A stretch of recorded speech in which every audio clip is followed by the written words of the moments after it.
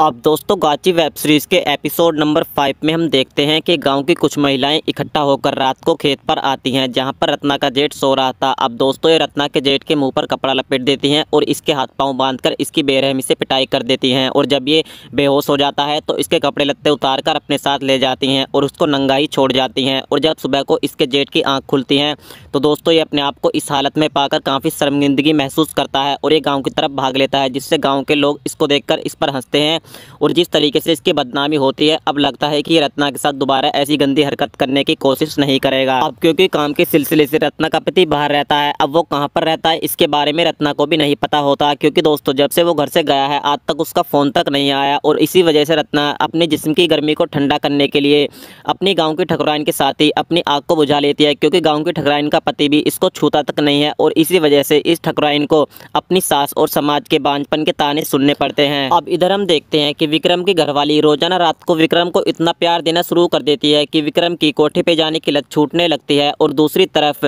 इस कोठे की जान, यानी गुलाब जान, अपने यार का इंतज़ार करते करते चौखट पर ही सो जाती है। लेकिन दोस्तों, विक्रम नहीं आता और कहानी का एपिसोड नंबर फाइव भी यहीं पर समाप्त हो जाता है। एपिसोड नंबर सिक्स की स्टोरी भी जानने के लिए आप लोग चैनल को सब्सक्राइब करके बेलाइकॉन प्रेस ज़रूर करें।